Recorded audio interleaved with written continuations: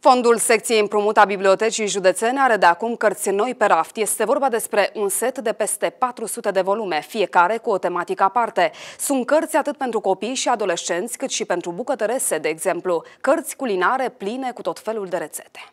Iubitorii de carte din județ vor putea răsfăi paginile unor noi volume. Este vorba despre 424 de cărți, atât pentru copii cât și pentru adolescenți, cum ar fi Pisicile războinice sau volumul Fluturii, care a devenit foarte căutat de tineri. Fondul secției împrumut Casa Tineretului uh, a Bibliotecii Județenei Ghebi Bicescu s-a îmbogățit cu un număr de aproximativ 400 uh, de volume, aceste cărți au fost repartizate pe secția noastră în baza unei propuneri de achiziție de carte, făcută de către bibliotecari către Comisia de Achiziție a Bibliotecii, Uh, în elaborarea acestui uh, referat uh, de achiziție s-a ținut foarte mult cont de dorința de lectură a utilizatorilor care frecventează această secție, dar au fost propuse spre achiziție și cărți existente fizic, dar care sunt uzate moral și urmează să fie înlocuite cu cele noi.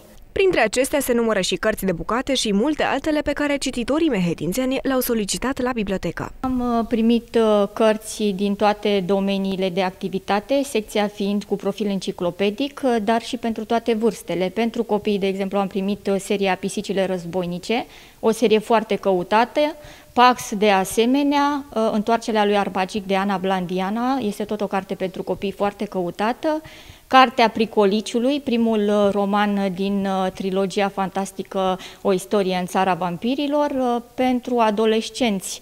Am primit cartea Vara când mama avea ochii verzi. Iubitorii pot lectura noile volume chiar în curtea bibliotecii, unde au fost amplasate mese și scaune special pentru cititori. Dacă doriți să citiți una dintre aceste cărți, puteți veni în intervalul orar 10-15 de luni până vineri. De asemenea, aveți ocazia de a citi cărțile pe terasa bibliotecii.